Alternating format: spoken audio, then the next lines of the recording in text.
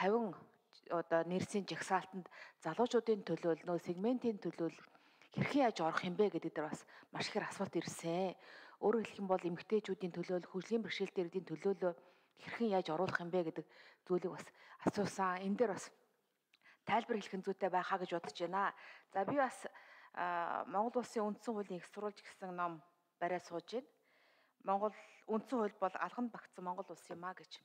Монгол улсынхаа алганд багтсан Монгол улсынхаа энэ хуулинд ер нь бол бид нар 19 онд сүүлийн удаа гар хүрсэн бол одоо дахиад 2023 онд дахин шинжилгээ хийгээр сууж байна. Ер нь бол энэ хуулийг харж хахад э одоо үндсэн хуулийн их баригч хэмээгддэг чимэд тухайн хэлсэн үгээр бол ерөнхийдөө бол алдагдчихж байгаа. 92 оны шинэ ардчсан үнсэн хуулийг баталж явах тэр явцад би яг хараа сууж 91 оны 12 сарын 3-ны өдөр хэрхэн ям хуралдаа ямар зохион байгуулалтаар орж ирсэн бэ гэдгийг үндсэн хуулинд оруулах юм бол хөдлөхгүй гэдэг ийм зүйл яригдчихсэн боловч бид өнөөдөр бас үндсэн хуулиндаа өөрчлөлт хийх гэж байна. Гэхдээ бид энийг бол улс орны одоо хөгжлийн одоо шилжилтийн үед бид өөрчлөх зайлшгүй шаардлагатай үүссэн учраас хөндөж байна гэдэг ийм бодолтой сууж байна яг 91 оны 12 сарын 3-ны өдөр үндсэн хуулийн 21-ийн 1-р заалт буюу парламент нэг танхимтай байна. За улсын хурал нэг танхимтай байна. Улсын хурлын гишүүдийн 50-аас доошгүй хувийг тухайн аймаг тойрогт оршин суугаа иргэдийн дотроос сонгоно гэсэн энэ нэр томьёоллоор бас баталж ирсэн байна. Тэгэхээр одоо яг энэ тухайн аймаг орон нутгаас сонгогдсон нэр одоо төлөөл буюу одоо бид нар 76 гэж яриад байгаа тийм ээ. 76 тойргийн төлөөллийг иргэд тухайн тойрогтой ажиллах хүн тухайн тойрогт бараг өдөр бүр тийм ээ сонгогчтойгоо нүүр тулж ажиллах хүн гэж ойлгож байгаа. Яг өнөөдөр сонгогчтойгоо уулзаад явж хахад одоо нөгөө л одоо гэрэлтүүлгийн асуудал, нөгөө л худаг усны асуудал, нөгөө л одоо хаягжилтын асуудал гэдэг юм ийм асуудлыг их хурлын гишүүдээс нэгчидэг. Уг нь бол энэ нэг дүүрэг нийслэл сонгогдсон төлөөл бас хийх ёстой. Бид хуулиа батлах ёстой гэж байгаа боловч иргэд өнөөдөр их хурлын гишүүдээс тийм шаардах эрхтэй гэдэг ийм ойлголттой байсаар байгаа. Тэгэхээр иргэдийн мэдлэг мэдээллийг бол бас нэмэгдүүлэх заашгүй шаардлага байгаа юм. Өөрөөр хэлэх юм бол парламент чадхтай байх, парламент мэрэгсэн байх гэдэг дээр бид иргэдэд мэдээлэл хангах тэр үйл ажиллагаа орхигдож байна гэдгийг бас харах зүйтэй болов. За одоо жагсаалтаар орж ирэх гэж байгаа 50 хүн маань мэрэгсэн байна гэдэг байгаа. Юугаар мэрэгсэн байх гэдэг асуултыг бас иргэд асууж байна. Дан хуульчд байх юм уу? Тийм ээ. Энэ дээр ер нь энэ зүйлийг хэрхэн яаж оруулж өгөх юм бэ гэдэг зүйлийг иргэд асуусан. За нөгөө төгөр сая бас асуулаа л да. Нөгөө мажоритар буюу пропорционал гэдэг энэ үгийг одоо Монгол нэр томьёолоор оруулж өгөөч гэж. Дийлэнх олонх, ердийн олох гэдгээр сая бас их хурлын дараа тайлбарлаж өгч байна. Энэ дээр иргэдээ нөгөө мэдээлэлээр хангах энэ ажлыг ер нь хийн хийх вэ? Яг өнөөдөр бид нар нөгөө их хурлын тамгын газраас өгсөн цэнхэр номоо тараасны дараа иргэд маань тийм ээ. Ерөөсөө одоо их хурлд чинь одоо их хурлын гишүүдийн ажлын ачаал маш өндөр байдаг юм байна. Хангалттай хууль бүрдээ хурж ажиллаж чаддгүй юм байна. Тийм учраас нэг байнгын хороонд нэг одоо мэрэгсэн талдаа ажиллах тэр боломжийг нээж өгөхийн тулд их хурлын гишүүдийн ачаалыг бас хөнгөлөх ёстой юм байна. Ийм учраас гишүүдийн тоог нэмэх ёстой юм байна гэдэг ойлголтыг авсан. Тэгэхээр энэ ажил дээр бид нь хэрхэн яаж ажиллах ёстой юм бэ? Сонгогч иргэдэд мэдээлэл хангах тал дээр. Бид нар одоо хоёр дахь хилцүүлгээ хийх гэж явж байна. Одоо явах гэж тийм эргэлтэл 7 хоногоос. Иргэд маань хангалттай мэдээллийг авч чаддгүй юм байна гэдэг нөхцөл байдал бидэнд харагдаад байгаа шүү дээ. Тэгэхээр энэ дээр ер нь бид яаж ажиллах ёстой юм болоо? Зөвхөн 21-1 гэдэг заалтыг хилцэж байгаас гадна бид бас сонгогчдыг одоо мэдээлэл хангах тэр ажил бол дутагдaltaй байна гэдэг юм шүүмжлийг биелэх гэдэг юм л да энэ дээр нэг тайлбар өгөх хүн байгаа болов. Ерөн сонгогчдын боловсрол төвгээд байдаг. Зөв төрийн бус байгууллагууд, иргэний нийгмийн байгууллагууд ажилладаг. Энэ дээр төр ер нь өөртөө хэрхэн яаж ажиллах хэрэгтэй юм бэ гэдэг дээр бас тайлбар өгөөч. За зочид танилцуулъя. Улсын их хурлын гишүүн Тавны Батамгалангийн урилгаар Баян зүрх дүүргийн ерхий боловсролын сургуулиудын сэтгэл зүйчид улсын их хурлын үйл ажиллагаа төрийн ордонтой танилцж байна. За та бүхэнд улсын их хурлын гишүүдийн нэрийн өмнөөс ажлын өндөр амжилт сайн сайхныг хүсээрээ. За хэн хариулах вэ?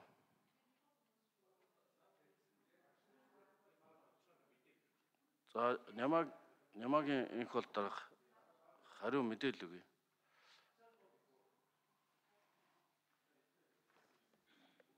За Монгол улсын үндсэн хууль 1992 онд батлагдаад бидний олон намын тогтолцоо зах зээл арчлалын замаар яваад энэ хугацаанд алдсан олсон олон зүйл байдаг. Энэ дотроос одоо жишээ нь миний өөрөө бодж явдаг нэг зүйл бол бид нар үнэхээр энэ шинээр сонгож авсан нийгмийнхаа мөн чанар зарчмууд ямар хуу байх ёстой тэн дотор нь иргэд ямар үүрэгтэй оролцох гэдэг тал дээр одоо иргэддээ танин мэдүүлэх нийгмийнхээ мөн чанарыг сурталчлах ойлгуулах тал дээр хамгийн их алдсан байна да гэж би боддгийн.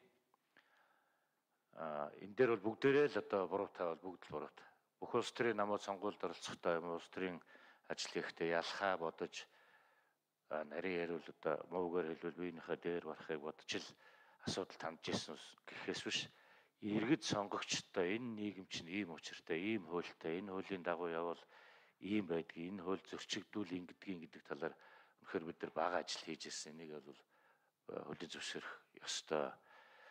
Тэгээ сая ингээд иргэдтэй уулзаад ийм нийгмийг хамарсах томоохон асуудлуудаар юм яриад явж явах хүртэл танилцуулаад явж хахад энэ дутагдaltaй байгаа нь үнэхээр харагдаж байгаа. Жишээ нь хэд хэдэн газар дээр би бол нэг 8 сумаар явсан 1700 орчим хүнтэй уулзахад зарим уулзалтуудын өмнө орхын өмнө олон жил бид нартай хамтарч бас явж исэн хүмүүс хүртэлгүй энэ 76 дээр байх нэвэр штэ юу тоо нэмэх гэж ярьж исэн би нэг ийм байр суурьтай байгаа шүүгээд ярьж исэн хүмүүс дараа нь гişүүд очиод уулзаад өнөөдрийн үүсэт байгаа нөхцөл байдал энэс гарах арга зам яавал тогтолцоо яагаад тогтолцоогоо өөрчлөл энд одоо илүү их бол хөгжил энэ асуудлууд гэд ингээд тэгээд э, тал талаас нь тайлбарлаад ингээд ярихаар нэрэ бодох юм байгаа юм байна шүү. За би ер нь одоо байр суурлаа өөрчлөлөө гэдэг хүн одоо хидэд таарч ирсэн. Би энийг ганцаараа хэлж байгаа биш манай бүлэг дээр жишээ нь оромтогт явсан тайлангаа ярьж ч гэсэн хүмүүс ярьж байна л. Тэгэхээр үнэхээр иргэдэд мэдээлэл хүргэнэ гэдэг бол их хоцрогдож байгаа ажлын нэг хамгийн их одоо бидний хийх уулзалт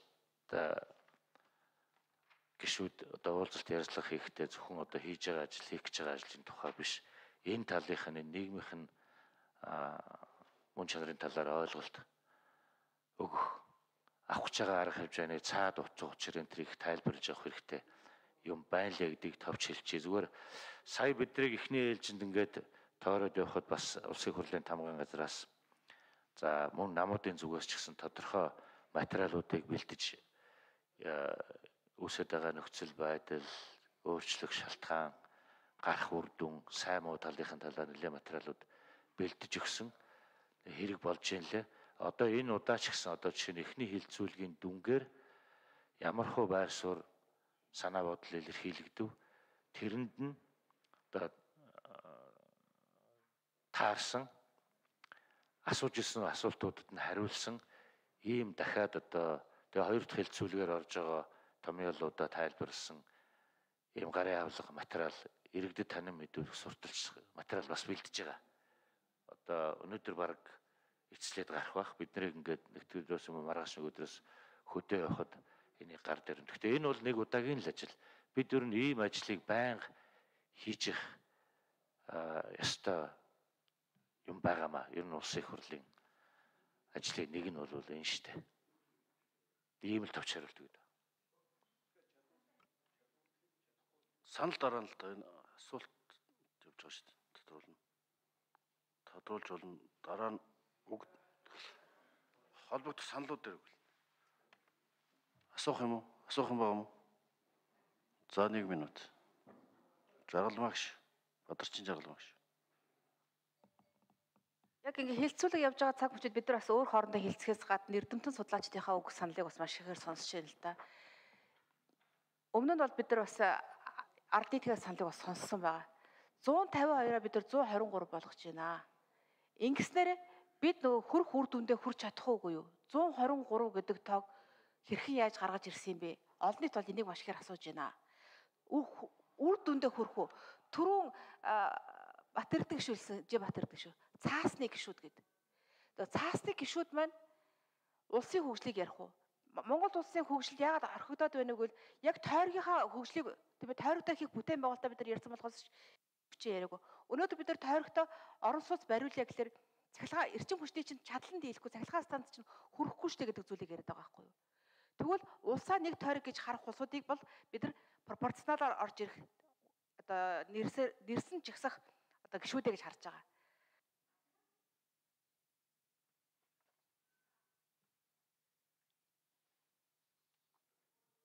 За завшааныг ашиглаад би бас нэг зүйл уншаад өгчий гэж бодож байна. Нөгөө гişүүдийн тоот холбоотой. Энэ 2019 оны 6 дугаар сарын 14-ний өдрийн нэгдсэн уралдааны тэмдэглэл Монгол улс тухайн үеийн Монгол улсын ерөнхийлөгч Балтмаа Балтмаагийн Батулга Монгол улсын үндсэн хуульд оруулах нэмэлт өөрчлөлтийн төлөвийн талаарх саналаа танилцуулсан. Дийг байгаа. Тэн дээр бол орчилсан намаас гарч байгаа саналыг үндэслээд улсын хурлаас гарч буй бусад шийдвэрийн улсын хурлаас гарч буй хууль бус шийдвэрийг чанартай өр нөлөөтэй болох засгийн газрын доктортой байдал цөөн тооны гишүүд шууд нөлөөлж хувилддаг жишгийг халах, улсын их хурлын гишүүд зүү бус нөлөөнд давтах эрсдлийг илэрхий бууруулах, засгийн газар тавих парламентын хяналтыг өр нөлөөтэй болох зүү ёсны шаардлагын хүрээнд улсын их хурлын гишүүдийн тоог нэмэгдүүлэх нь зөв гэж үзэж байгаа үзэж байна. За ингээд энэ тоо өссөнийг бүх тоо баримтуудыг дурдаад хүн амын тоо 3.1-ээр өссөн байхад улсын их хурлын гишүүдийн тоо хүн амын тоотой харьцуулахад цөөн хуваар байгаа нь төрийн эрх мэдлийн хуваарлалт хяналт тэнцэл алдагдахад нөлөөлж парламентод зөв бус нөлөөл орох эрсдлийг нэмэгдүүлдэг нь судалгаагаар тогтоогдсон байдаг. Аливаа улсын парламент хууль тогтоох, ард түмнийг төлөөлөх, гүйцэтгэх мэдэл хяналт тавих чиг үүргээ чанартай хэрэгжүүлэхийн тулд хэдин гишүүнтэй байвал зохистойг тооцоолон гаргадаг аргачлал байдаг. Энэ аргачлалаар тооцвол манай улсын парламент 114 орчим гишүүнтэй байх боломжтой Учираас би 108 гэсэн саналыг гаргаж байна. Арчил намын бүлэг Монгол улсын ерөнхийлөгч. Энэ нь улсын их хурлын төлөөлөх чадвар сонгогдсон гишүүний ажлын ачаалт тохир хамгийн боломжтой хувилбар гэж үзэж байна. Монгол улсын их хурл цөөн тооны буюу 76 гишүүнтэй байгаас аливаа асуудлыг эрдийн олохоор шийдвэрлэх, хэд цөөн гишүүн хууль батлах, улс орны амин чухал асуудлыг шийдвэрлэх хэд сөрөг нөлөөллүүд үүсэж байна. Тодруулж хэлбэл улсын их хурлын нийт гишүүний олонх нь буюу 39 нь хүрэлцэн ирснээр эрс бүрдэж ердөө 20 гишүүний саналаар буюу 3.1-ээс бага хуулийг батлах боломжтой байгаа нь чанаргүй амьдрал буухаргүй докторгүй өр нөлөөгүй хууль гарах сөрөг үр дагаврыг бий болгож байгаамаа.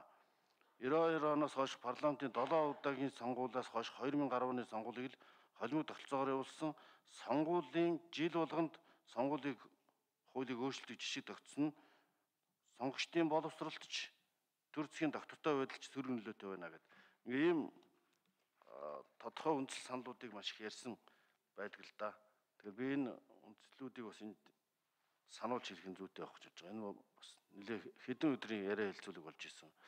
Тэгээ сонгуулийн жил болсон учраас сонгуулийн жилээс нэг сар гаруй хэдэн сарын хугацаа дутуу байгаа учраас энэ үндсэн хууль нэмэлт өөрчлөлт энэ чиглэлээр оруулахгүй гэж үзээд тэгээд 108-ыг 99 гэж хилцэж байгаа. Тэгээд энэ холимог тогтолцоон дээр ийм санал хураагдсан юм бэл. Улсын хурлын сонгуулийг тойргоос олон улсын хурлын сонгуулийг олонхийг төлөөлөх болон хувь тэнцвүүлэх зарчмыг хослуулан явуулна. Сонгогч тойргоос нэр дэвшигч намын жагсаалтын нэр дэвшигчид санд өгнө гэсэн агуулгатай залтыг 20 гишүүн санаачлаад арчсан намын бүлэг эдийн намын бүлэг хамтраад санаачлаад тэгээ чуулган дээр 41 гишүүн дэмжиж 57 хүрээгүй учраас энэ санал унсан. А мажартаар пропорционал гэдэг гадаад үг төр үед оруулахыг ярьж хагаад ерөөсө гадаад үгийг яг нэг сонгогчдын боосрол тайлбарлах, буулгах олон асуудал үүсдэг учраас хэрэглэхгүй гэж тогтсон. 92 оны хууль дээр чинь тийм зарчим барьсан. Харин стратегийн гэдэг стратегийн ордог газар гэдэг үгийг онцгой ач холбогдолтой гэж орчуулж үзээ тэрний ерөөсө орчуулагдахгүй. Манай 25 гишүүн стратегийн ард газар төрийн мэдэлд ард түмний мэдэлд байна гэсэн саналыг одоо манай Бат Эрдэнэ Даваасар нарын цаг нарын гишүүд гаргаад тэгээд тэр стратегийн гэдэг үгэл эцсийн хилцүүлэгдээ дэмжигдээ орцсон. Тэрний хэлний зөвлөх хянж үзээд онцгой ач холбогдолтой орд газар гэж нэрлсэн боловч агуулга нь гарахгүй байна. Хэлсэн нэршил тэгээд тухайн үеийн бас улс төрийн нөхцөл байдлаас болоод нэг үг ингэж орсон. Хожим ахиж үг оруулахгүй шүү гэсэн тийм хаалт хашилт хийе гэсэн Дараа нь маш олон гомдол санал гарсан. Тийм учраас энэ бас мажоритар пропорционалыг аль болох ашиглахгүй дараа нь бас маш их асуудал гардаг учраас энийг ингэж онооч хэрэглээд тайлбарлаад өгзөө нэр томьёоны толдоо суулгаад баталгаажуул явах нь зүйтэй гэж үзсэн гэдэг бас иргэдэд мэдээлэх нь зүйтэй. Ер нь үндсэн хуулийн боловсрол, парламентын боловсролыг эрхээ боловсролын сургуулиуд хичээл заадаг улсууд байна. Тийм учраас энэ арчлын боловсрол, хүний эрхийн боловсролыг энэ сургуулийн програмд орох асуудлыг энэ босрол хойшлын тухааны яам судалж хэрэгжүүлэх нь бас зүйтэй гэж. За одоо одонгийн зөвтгөл шүү. Арчлал намын бүлгийн дарга. За